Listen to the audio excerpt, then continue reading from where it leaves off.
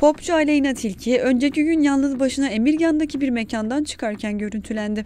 Yemek sonrası sohbet eden Tilki, genelde avokadolu tost yiyorum. Bazen de kendimi şımartmak için tatlı yiyorum.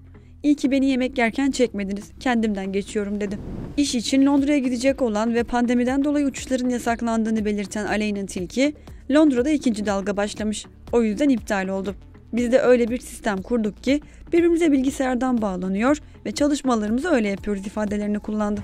Geçtiğimiz gün bebekle görüntülenen Tilki, 1300 TL değerindeki kaçmış görüntüsü olan çorapla ilgili de konuştu. Tilki, benim çoraplarımın hepsi yırtık, düz çorabım yok. Her giydiğimde yırtılıyorlar. Ben yine de giyiyorum. 1300 TL'lik çorabın kumaşı iyiyse öder ve alırım açıklamasını yaptı. 20 yaşında olan genç şarkıcı sağlığını düşünmeyerek yemek sonrası ard arda sigara içti. İlk kez sigara içerken görüntülenen Tilki soruları geçiştirdi.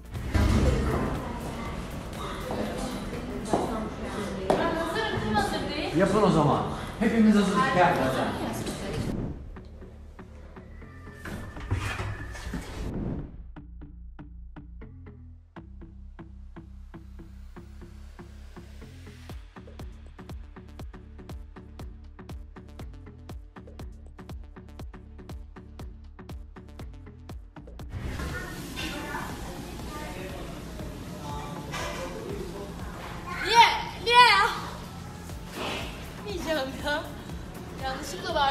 Geçen e, bilerek bağırdım söylediler. Yalan. Gitmiyorum. Bak şöyle bekleyeceğim.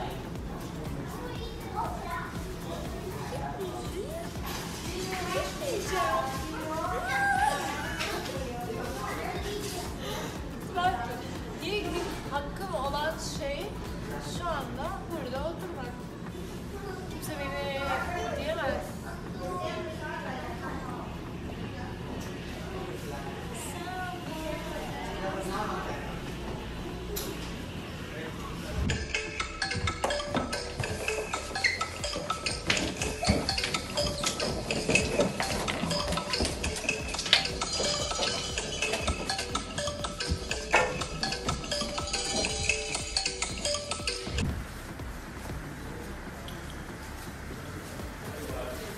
Ben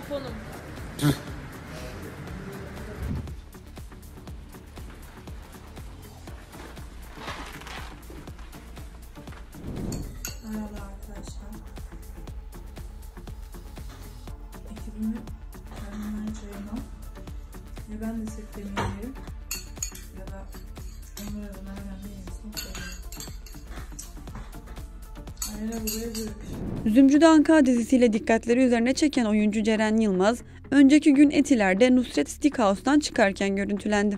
Gazetecilerin sorularını yanıtlayan Yılmaz, güzellik başa bela açıklaması hakkında da konuştu. Güzelliğin bir tık dezavantajını yaşıyorum. İş yerinde bile sorun olabiliyor. Orada bir kadın sizi kıskanıp işinizi bozabiliyor. Bunu güzelim ve hayat zor anlamında söylemiyorum. İş hayatında zorluk yaşadığım için söylüyorum. Oyuncu 1990 yılında Samsun'da dünyaya geldi. Üniversite eğitimini Kocaeli Üniversitesi Güzel Sanatlar Fakültesi Sahne Tasarımı bölümünde tamamladı. İlk oyunculuk deneyimini Filinta dizisinde yaşayan Ceren Yılmaz, bu dizide Hatice karakterine hayat verdi. Daha sonra ise Deli Gönül ve Üç Harfliler Adak gibi yapımlarda rol aldı. Çok zor günler geçiriyoruz ama biz birbirini seven insanlarız. Biz birbirini seven bir ülkeyiz. Birbirini seven bir dünyayız aslında. Ve eminim bu süreç bittiğinde hepimiz küllerinden doğacağız. Ne olur sabredelim. Ne olur evde kalalım. Aslında evde kalalım demek ne kadar doğru bilmiyorum. Çünkü evde kalamayan bir sürü çalışanımız var. Bir sürü sektör var. Sağlık sektörü, hizmet sektörü.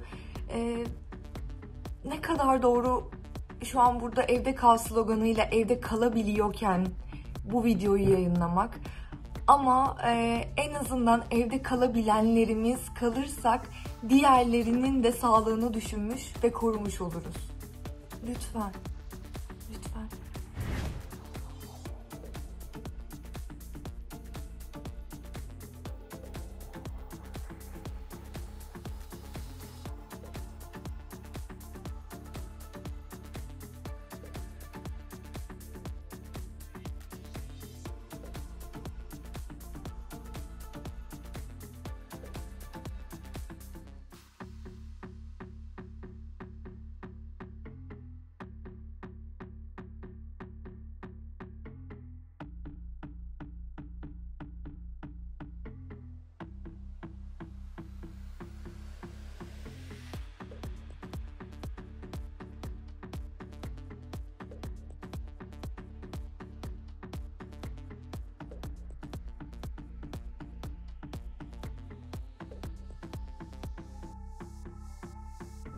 Aslı Enver, Kerem Tunçeri ile yeniden görüşmeye başladığı iddiasına yanıt verdi. Önceki gün Caddebostan'da kendisini dizi setine götürecek aracı beklerken görüntülenen Aslı Enver'e Kerem Tunçeri ile yeniden görüşmeye başladığı iddiası soruldu. Ünlü oyuncu, yok öyle bir şey. Bir arada beni Amsterdam'a göndermişlerdi diyerek güldü. Enver'in adı daha önce Uras Kaygılaroğlu ile aşk yaşadığı iddialarına karışmış, ikilinin Amsterdam'da tatil yaptığı yazılmıştı. Aslı Enver'in Kerem Tunçeri ile daha rahat bir şekilde görüşebilmek için Caddebostan'daki Sabiha Hanım korusundan 16.000 TL'ye ev tuttuğu yazılmıştı.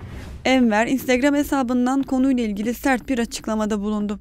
İşte Enver'in o açıklaması.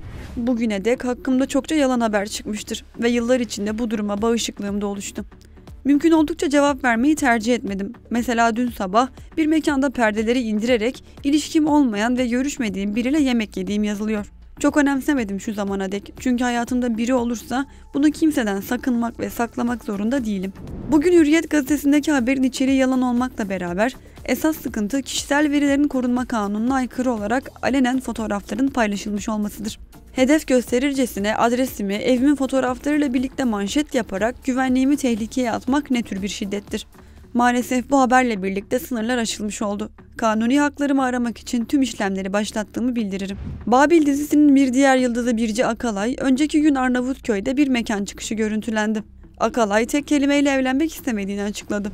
Muhabirlerin tek soru istiyoruz, evlenmek istiyor musunuz sorusuna Akalay tek kelimeyle hayır yanıtını verdikten sonra evin yolunu tuttu.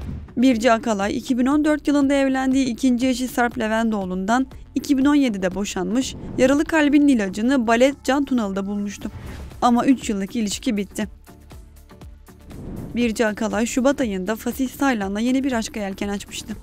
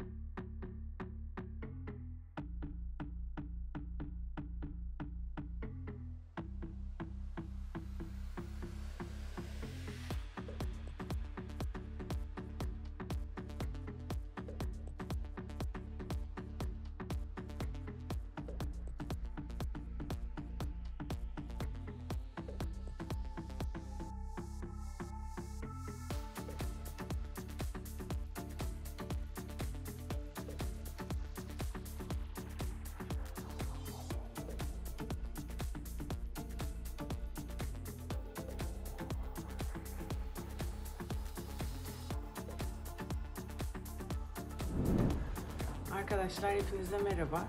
Ee, biliyorsunuz 2-8 Kasım arası Lösemili Çocuklar Haftası ve LÖSEV'de bu hafta için bir farkındalık kampanyası başlattı. Maskemi takarım, farkındalık yaratırım. Peki LÖSEV buna sizce neden ihtiyaç duydu? Şöyle ki, arkadaşlar şunun içerisinde yaşamak aslında o kadar da kolay bir şey değil. Yani gündelik hayatta bunu takarak hayatınıza bir gün devam etmeyi deneseniz aslında ne demek istediğimi anlayacaksınız. Bunun içerisinde olduğunuz zaman özellikle kapalı ve halka açık alanlarda çok da e, rahat edemiyorsunuz. Hatta hiç rahat edemiyorsunuz, daralıyorsunuz, sıkılıyorsunuz. Yürürken, yani konuşurken bile bakın nefes alırken bile e, sizi daraltan aslında yaşam alanınızı ve konforunuzu kısıtlayan bir şey bu maske. Fakat bizim lösemili kardeşlerimiz, o güzel çocuklarımız bunlarla dışarıya çıktıklarında özellikle bunlarla yaşamak zorundalar. Çünkü bağışıklıkları tedavileri yüzünden çöktüğü için dışarıdan alabilecekleri her türlü hastalığa basit bir grip enfeksiyonu bile onları maalesef e, dönülemeyecek noktalara getirebilme riskini taşıyor. Dolayısıyla aslında onlar bizden korunmak için bu maskeleri takıyorlar. E, dış dünyadan korunmak için. Fakat bazı e, insanlar onların bu taktıkları maskelerden ötürü hastalıkların bulaşıcı olduğunu düşünüyor ve onları ötekileştiriyor, ayrımcılık yapıyor. Ve aslında löseminin tedavi edilebilir bir hastalık olduğunu bilmedikleri gibi onların minicik kalplerinde de onları ötekileştirerek büyük hasarlar bırakıyorlar.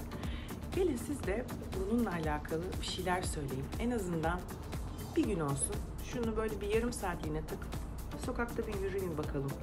Nasıl hissedeceksiniz? Maskemi takarım, farkındalık yaratırım. Görüşürüz.